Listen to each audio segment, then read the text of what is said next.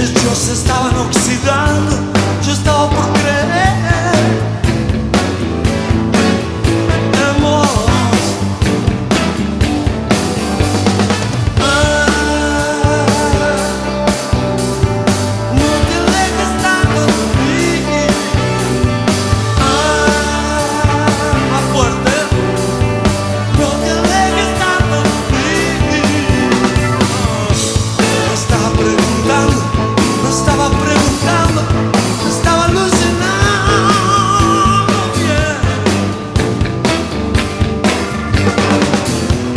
estaban tan cromados, estaba por